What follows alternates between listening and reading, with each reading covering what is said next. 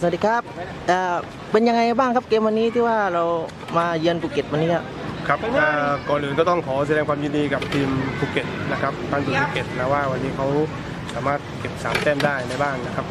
ซึ่งก็เราทีมส่วนทีม WU นครศรีเองนะครับก็มาพลาดจังหวะที่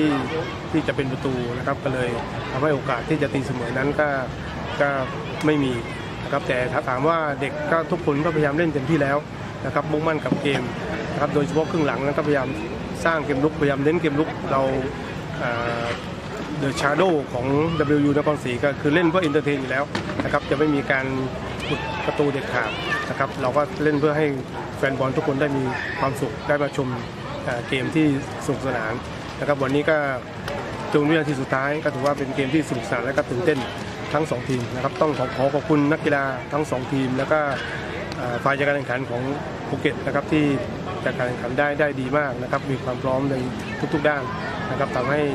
เรามาแข่งขันแล้วรู้สึกอบอุ่นและก็ปลอดภัยอ่าฝากถึงแฟนบอลของนครหน่อยนะครับก็ฝากถึงแฟนฟุตบอลนครศรีธรรมราชนะครับว่า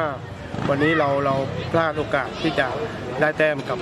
กับบ้านนะครับเพราะเนื่องจากว่าเราเอ่อในจังหวะสุดท้ายนะครับ เราอาจจะไม่มีเทพีแห่งโชคนะครับ ก็เลยไม่สามารถที่จะเอ่อเอาแต้มกลับบ้านได้นะครับ แต่ก็นัก กีฬาทุกคนก็ยังไม่เสียขวัญและกำลังใจนะครับ ยังมุ่งมั่นที่จะเอ่อเก็บชัยชนะต่อไปในวันข้างหน้าครับส่วนในวันนี้ก็ต้องขอโทษแฟนบอลจริง ๆ นะครับ ที่เราไม่สามารถเอาแต้มกลับไปบ้านนครศรีธรรมราชได้ขอบคุณครับ